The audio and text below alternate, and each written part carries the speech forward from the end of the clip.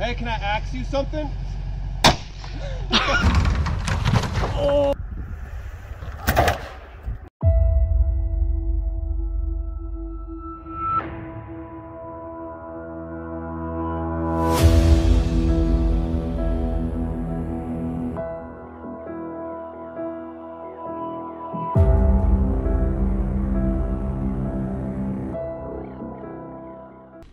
What's up guys? Welcome back to Dakota Diesel. In the last episode, we installed 26 inch American Forces on my always broken LBZ. And on this episode, we're gonna install a cheap Harbor Freight winch and see how it performs. But first, we have to start this thing somehow. It's negative 17 today. And no matter what I've tried, it will not start.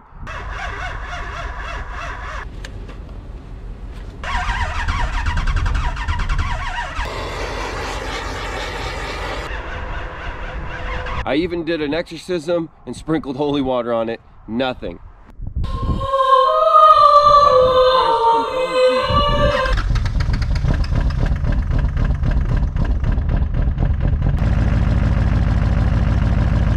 Well, I guess that's all it takes. Before we install this 12,000 pound Badlands winch from Harbor Freight and put it through a torture test, let me tell you what it's like to own 26 inch American Forces. They're actually really terrible in the winter because they get packed with snow and then the balance is all off and if you go over 40 miles an hour they feel like they're about to rip off so you got to clean them out all the time.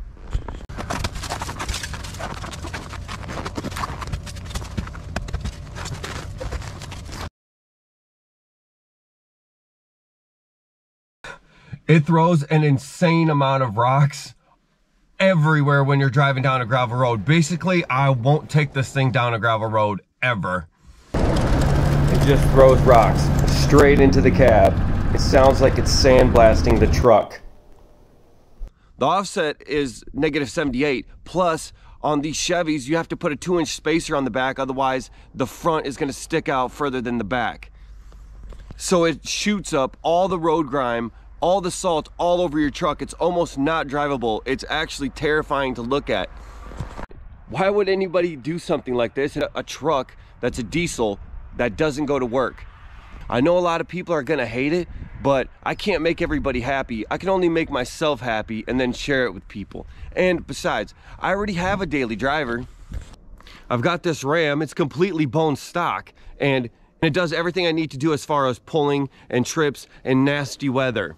So this truck was already impractical way before the American Forces. It has a lift, a billet trans, and compound turbos, and I'll probably never pull with it unless I'm pulling like my 03 Cobra to a show or something like that.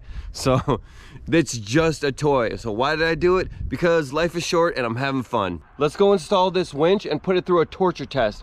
But is this truck a little bit of a pimp mobile with these wheels? Yeah. dog status, I'm a big dog vet. Uh,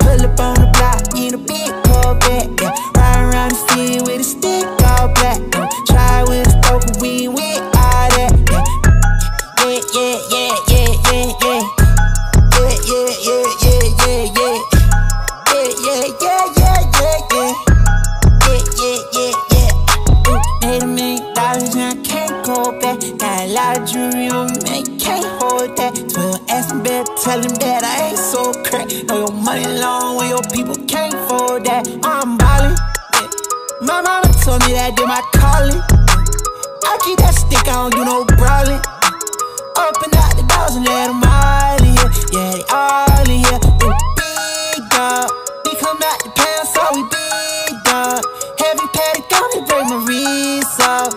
I'm young out of rocket, about to lead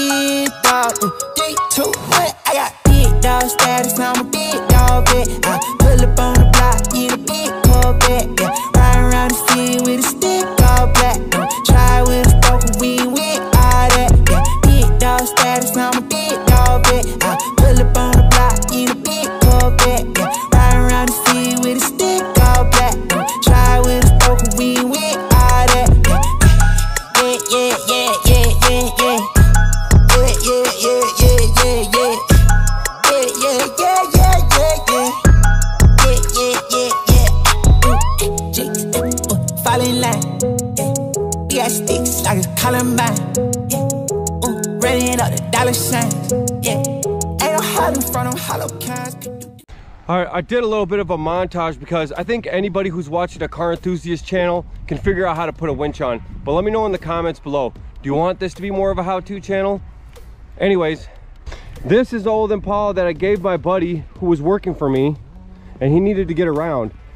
But he ended up getting a DUI in it, so it's been sitting here for a long time. It's got 220,000 miles on it. And we're gonna test this winch out on this car.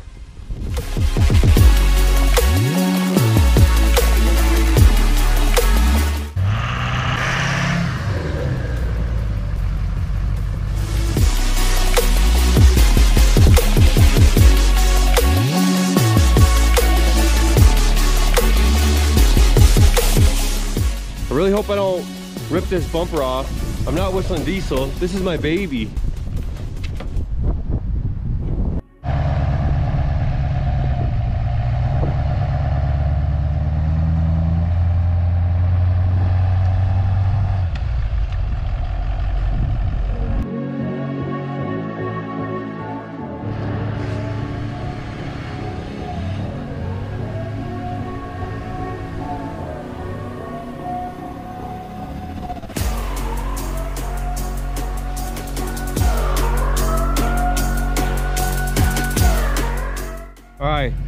Testing my Harbor Freight winch, take one.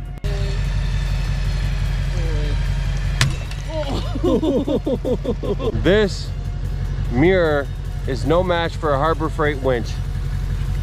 Oh. All right, that was an easy one. So let's try something a little bit harder. Let's try to pull this up a tree. Is it going to lift?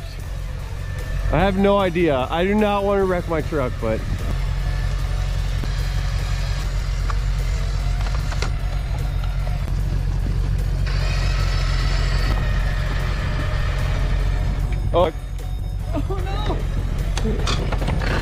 oh fuck! That's not.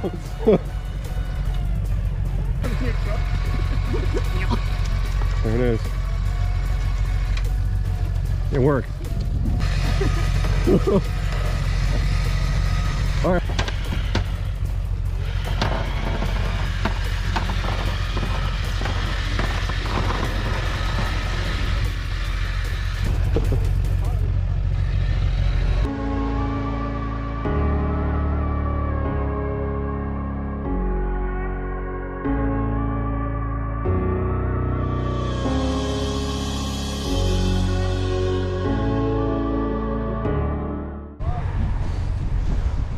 Well, clearly the Harbor Freight winch is a good buy because it can pull a car up a tree.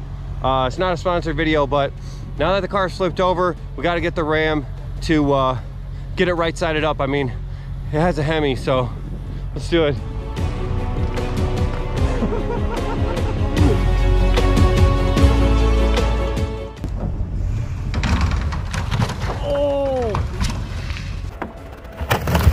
oh!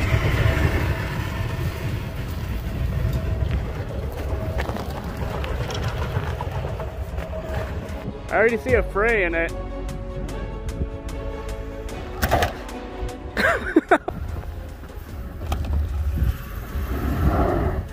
you had it. Huh? You had Ready? Oh!